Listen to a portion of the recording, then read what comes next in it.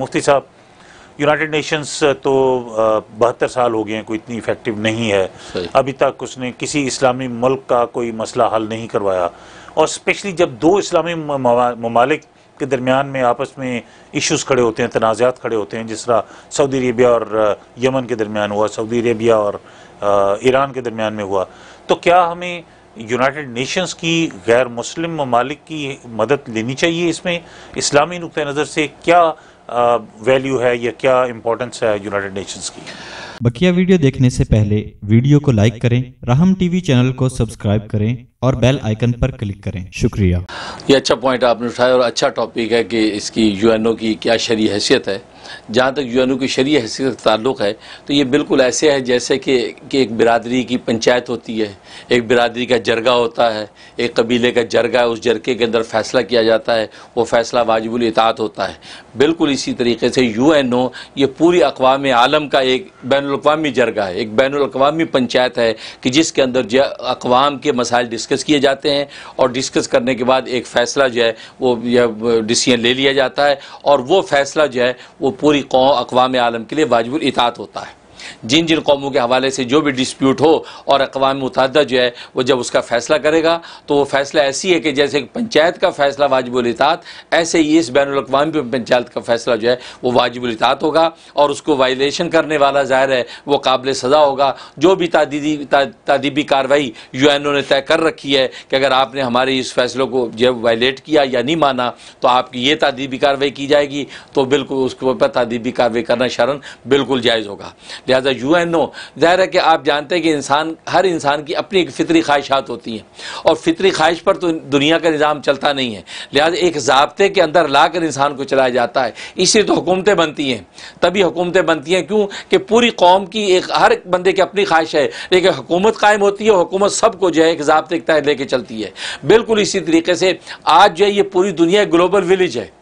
یہ global village ہے، اب یہاں کی سیاست دوسرے ملکوں میں چل رہی ہے۔ دوسروں کی سیاست یہاں چل رہی ہے۔ یہاں کی بنی ہوئی چیزیں امریکہ کی بنی چیز پاکستان میں بک رہی ہیں۔ پاکستان کی بنی ہوئی چیز لندن میں بک رہی ہیں۔ تو گویا کہ کلچرل بھی اور انسان جو ہے وہ پولیٹیکل بھی سب ایک دوسرے اتنے قریب آ چکے ہیں۔ ایک ایسے ادارے کی ضرورت تھی کہ جو ادارہ سب کو بٹھا کے جب ملکوں کی جو ہے، حکومتوں کی پالیسی طے کرے اور اقوام عالم کو ایک امن اور سلامتی کا راستہ دے۔ تو اس لیے جو یو این او کا ادارہ جو ہے بالکل جو ہے وہ بالکل درست ہے اور شرن اس کے حکم کو ماننا واجب اور ضروری ہے۔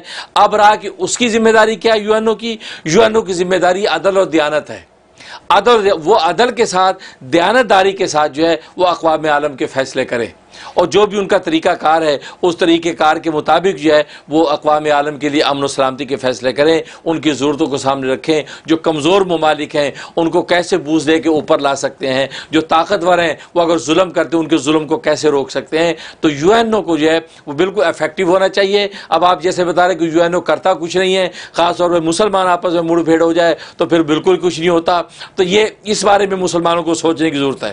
اور اس کے لیے مسلمانوں کو کوئی نیا یو این او بنانے کی کی ضرورت نہیں ہے۔ اور نہ بنانا چاہیے، نہ بنا سکیں گے۔ بس ایک کام کریں، وہ ایک کام کیا، یونٹی۔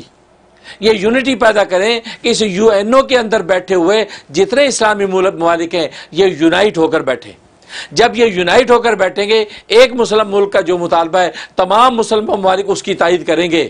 تو نتیجہ کیا ہوگا؟ اب وہ جو یو این او کا جو بھی فورم ہے، وہ فورم مجبور ہوگا کہ ڈسیزن اس کے مطابق کریں۔ جیسے یہاں کی عدالت ہے، یہاں کی کورٹ آزاد ہے، یہاں کی کورٹ کے اندر دلائل جب دیے جاتے ہیں تو بھلے مسلمان ہو یا غیر مسلم ہو، مسلمان کے حق میں بھی فیصلہ ہو جاتا ہے۔ تو بالکل اسی طریقے سے میں یہ کہوں گا کہ یو این او جو ہے، وہ اسی کے اندر رہتے ہوئے جو ہمارے ففٹی سیون ممالک ہیں، وہ آپس میں یونائٹ ہوں۔ اس کا طریقہ یہ کہ آپس میں رابطے بڑھائیں۔ اور جیسے آپ نے بتایا، او آئی سی۔ او آئی سی اس کے لیے بہترین پلیٹ فارم ہے کہ او آئی سی کو ایکٹیو کرے۔ او آئی سی کو ایکٹیو کرے، اس کے اندر روح ڈالے۔ اس کے روح ڈالے وہ زندہ ہو۔ جب وہ زندہ ہوگی، اس پہ روح پیدا ہوگی، وہ جب ایکٹیو ہوگی، تو او آئی سی کے اندر وہ اسلامی ملک بیٹھ کے آپس میں ایک فیصلہ لے کے اب یو این او کی سالانہ مجلس میں جب آئیں گے، تو یہاں جب بات رکھیں گے، تو ظاہر یو این او اپنے لاء کے مطابق جو ہے وہ ماننے پہ مجبور ہوگی اور آپ کے حق میں فیصلہ ہوگا۔ اور ظاہر ہے کہ آپ پھر اس کو فالو اپ بھی کریں گے اور اس کے نتیجے آپ کے حق میں اچھے ہوں گے۔ اس لیے یو این او کا ادارہ یہ ضروری بھی ہے اس وقت کا اور جو اس کے جو فیصلے ہیں وہ افیکٹو بھی ہونے چاہیے۔ لیکن مسلمان صرف یہ کریں کہ آپس میں یونائٹ ہو جائیں۔ بس یونٹی کافی ہے، ان کو نیا یو این او بنانے کی ضرورت نہیں ہے۔ اسی یو این او میں رہ کے، کیونکہ نیا بنا کر بھی وہ اسی طرح گلی ڈنڈا آپس میں کھیلیں گے۔ جیسے یمن اور سعودیہ کھیل رہا ہے، جیسے سعودی اور ایران آج ایک دوسرے کے گرے بار پہ ہاتھ رکھا ہے۔ کیونکہ یونٹی نہیں ہے یونٹی نہ ہو کر آپس میں آپ ایک نہیں ہیں۔ تو آپ الگ یو این او بنا کے تو او آئی سی میں کیا ہوتا ہے؟ او آئی سی کے اندر بھی آپس میں ایک دوسرے کی گروانی پکڑ کے جاتے اس سے بہتر یہ ہے کہ آپ اس پلیٹ فارم میں یونائٹ ہو کر بات کریں گے تو اس کا وزن ہوگا اور آپ کے لیے اچھے نتائج ظاہر ہوں گے لیکن مفتی صاحب، یہ کسی غیر مسلم کی مدد لینا اپنے کسی شرعی مسائل کو حل کرنے کے لیے اس کی شرعی ویلیو کیا ہے؟ بڑا اچھا سوال ہے آپ نے کہ بالکل یہ مدد لینا ثابت ہے کہ خود نبی کریم صلی اللہ علیہ وسلم نے یا حبشہ کی ہجرت کے لیے کہاں بھیجا؟ مدد کے لیے۔ بیچارے، یہاں جو ظلم و ستم کی شکار تھے، آپ نے حبشہ بھیجا اور حبشہ غیر مسلم ملک تھا۔ وہ عیسائی ملک تھا اور وہ بادشاہ جو ہے نجاشی عیسائی تھا، تو وہاں پر گئے اور وہاں وہ مددگار ثابت ہوا۔ نتیجہ ہے کہ کفار و مشرقین کو اس نے بگایا اور وہ مظلوم اس کے حوالے نہیں کیے۔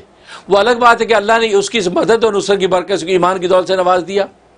تو اس لیے یہ غیر مسلم سے اس درجے میں مدد لینا کہ جس سے آپ کی ایمانی اور دینی اور آپ کی جسمانی اور دنیاوی مفادات جو محفوظ ہوں، بالکل لینے کی اجازت ہے۔ اس میں کوئی مداخلہ نہیں۔ جیسے یہاں ہماری مسجد ہے۔ اب مسجد کے اوپر اگر کسی نے دھاوا بول دیا، آپ غیر مسلم پولیس کو کال کریں گے نا؟ وہ غیر مسلم پولیس ہی آئے گی، آپ کی مسجد بچائے گی۔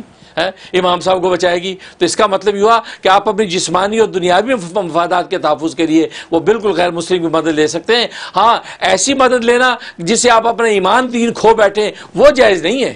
وہ اس کے، اس کی ایک حد بندی ہے۔ لیکن باقی ساری امداد جو ہے، آج ہم صبح شام غیر مسلم پولیس اور فوج سے لیتے ہیں۔ نتیجہ یہ ہے کہ ہم اپنے سلسلہ چلا رہے ہیں اور اسلام میں اس کی بالکل گنجائش اور اجازت ہے۔